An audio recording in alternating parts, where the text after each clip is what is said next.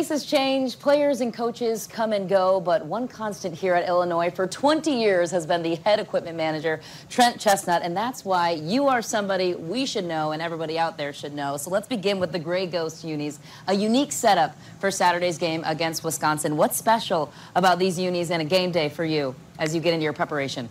It's homecoming this weekend, so that's a huge game. Uh, every year we break out, well, since 2014, we break out the Gray Ghost jerseys uh, in honor of Red Grange, the Galloping Ghost, uh, legend, Hall of Famer, retired number here, number 77.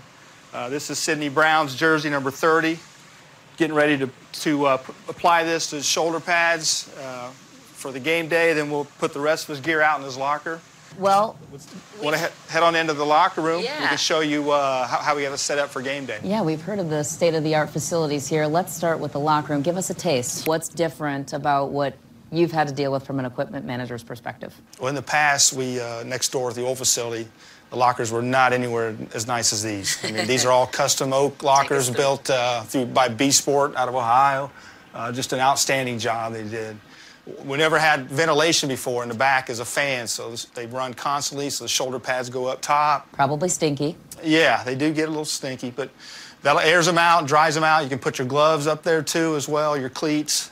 This is the helmet compartment. We always put whatever helmet we're going to wear today or for the next day, the next game in front. Something we never had before is a, is a private box, and in the back is USB ports. You don't do this job for pay. You don't do it for praise. You said it yourself. Why? Why do you do this? And you've been here for 20 years to speak for it. We do it for the love of the game. I mean, we all love sports. We all love football, and, and uh, so it's it's it's it's a pretty awesome gig. You get to travel a little bit, you know, and so.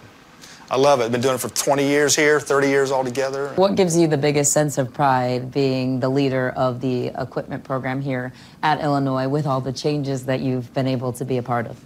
Well, this right here is was long overdue. This facility, the locker room, the equipment room, everything here it was much needed, and and uh, it's going to enable us to take the next step. You know, for recruiting, we have quality equipment and quality uniforms, obviously quality facilities. We just got to keep adding to the players. Awesome. Well, it's a thankless job, so we're happy to give you a little bit of love here on Big Ten Network. We appreciate your time and showing us around the behind the scenes of what it's like on game day for you. Oh, thank you. Thanks for having me. All right, Dave.